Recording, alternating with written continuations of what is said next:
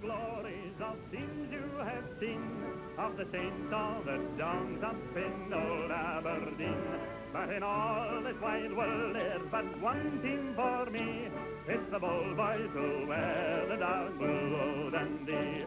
1962, the most famous year of all in a century of roller coaster history at Dens Park. Dundee are champions of Scotland and about to embark on a journey into the European Cup, which was to take them all the way to the semi-final. All the brave boys who wear the dark blue Dundee. They had some side, genuine legend of Scottish football like Alan Gilzean, who had the glorious ability to stay cool when the heat was on.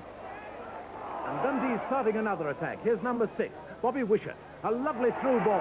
And it's the inside left number 10, Alan Gilzean. A lovely pass and there's Waddell with another goal.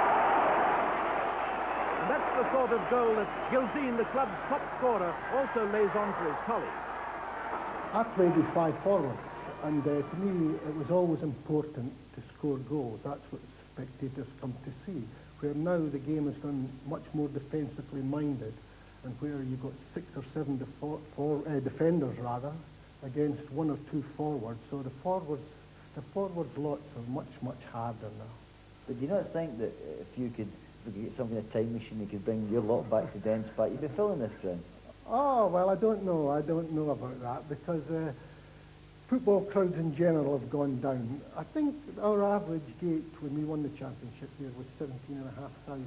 But Gilly was well aware that great teams need great managers, and Dundee had a unique character in Bob Shankly, who knew that his stars would soon be in demand in England. Oh, obviously they'll be interested. They must be interested because, as, as you know now, that we're, we're, we're known in the continent. And they're pretty well known at home, of course, now too. But these are things that we'll, we'll attend to when the time comes. He was a very honest man, Bob Shankly. If he promised you something, you were sure of getting it.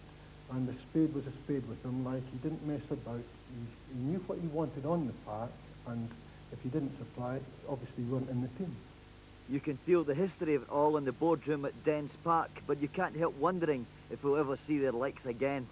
It was some day back in the spring of 62 when they clinched the title at St Johnstone's old ground at Muirton. Happy days and memories which will never fade on Tayside.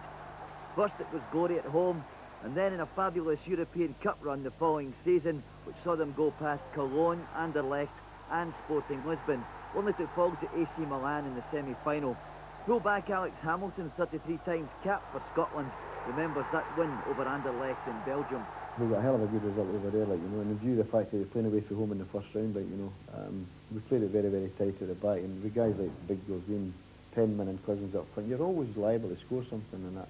And we managed to knock four in there then, so that was a, that was a good result, aye. Taken by the left half, Wishart. Those are the ones that Anderlecht don't like, and it's going to be four. It is.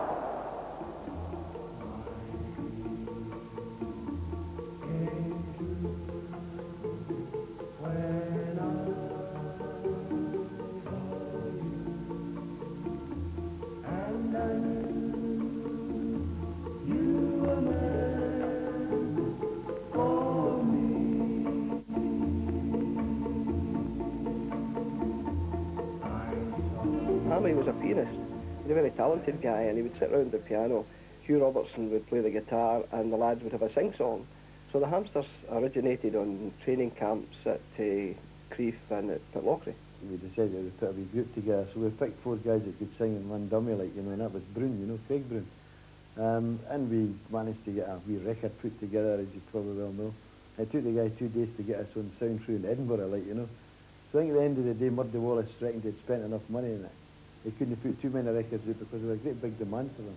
I think it sold 10, like, you. But the real music to the ears of the Dundee fans was the roar of the crowd as they watched their team in action. Charlie Cooke, Gordon Smith, Seith, Ure and Wishart. To watch them play was to see poetry in motion. We pray we see their likes again in Dundee's second century.